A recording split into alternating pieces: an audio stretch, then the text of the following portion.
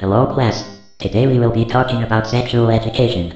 Don't worry, I won't use all of those confusing terms like in those books or anything. I will be telling you how to, well, basically fuck a girl. First, strip. Take off all your clothes so you have all your skin showing and your balls can wiggle freely. Second, roll on a condom. Ah, fuck condoms. Nobody uses them anyway. Third, walk over to the girl while telling her over and over that you love and need her. Fourth, put your arms around her. Fifth, to kiss her, put your tongue in her mouth as far as possible while moaning continuously. 6.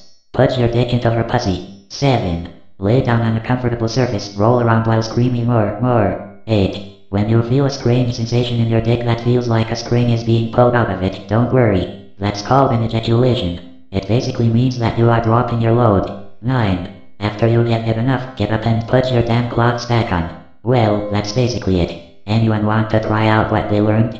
I will gladly volunteer as the test subject.